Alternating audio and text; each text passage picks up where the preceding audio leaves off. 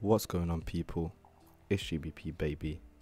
It's currently 11:37 p.m. on Monday, the 29th of May 2023.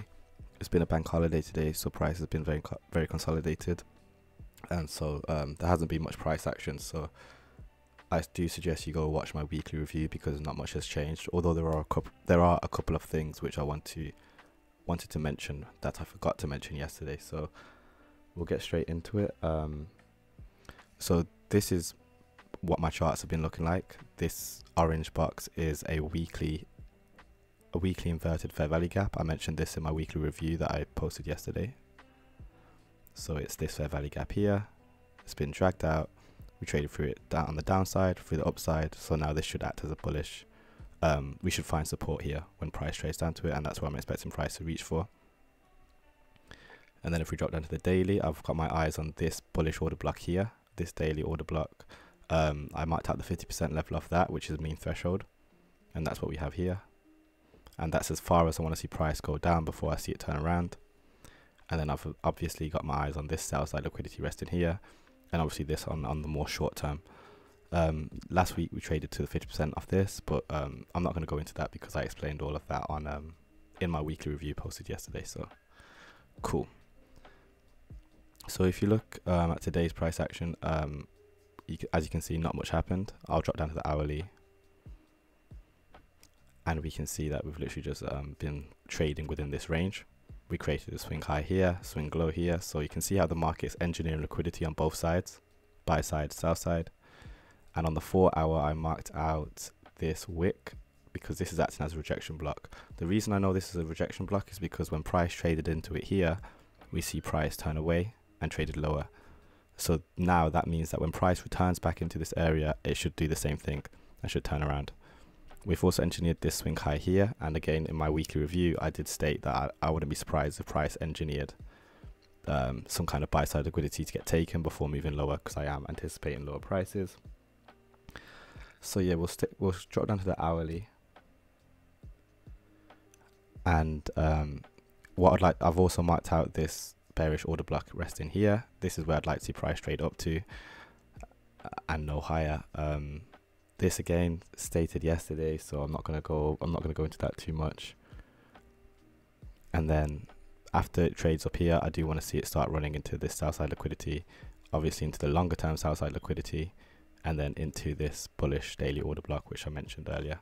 So there's really not much going on. Um, this is a really short video, to be honest. I didn't expect much to go on because again it's bank holiday and also there's not much news other than foreign uh, non-farm payroll which is on Friday so I'm expecting volatility then but up until then I'm not expecting too much to be happening in the market so um, obviously we'll keep an eye on things. I am planning on trading so I'll try I'll keep you guys updated with that. But right now I want to um, I've got my eyes on this swing high getting tagged for liquidity and I want to be selling above here. Um, another thing that I forgot to mention as well in my weekly review was the fact that um, which adds to confluence as to why I want to see price trade to this level, which is this price here, 1.22385, is because if we look at the total trading range of the daily from this low to this high, we can see that that level rests at the 50% level of this range. So regardless, we know that price tends to always returns. Um, price has a tendency to return to equally equilibrium, meaning that once price does reach down here, we can expect some kind of reaction or some some kind of reversal or retracement to happen from here. So that's also adding uh, reason as to why I want to see price reach down into this area and then turn around accordingly. Another thing I'd like to I'd like to mention as well on the four hour is the fact that this uh, where this rejection block is, where I've marked this out, this actually traded into a previous bullish order block and turned around. So if we look at this blo block here, this four hour down candle, this is a bullish order block. And since we traded lower and traded back into it, I'll just mark it out like this.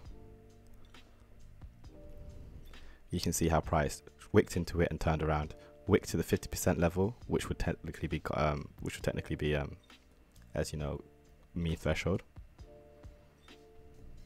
wick to it and turned around. This is again adding reason as to why I want to see. I'm expecting price to be turning around from these levels around here, and I think this would be a perfect entry for sell.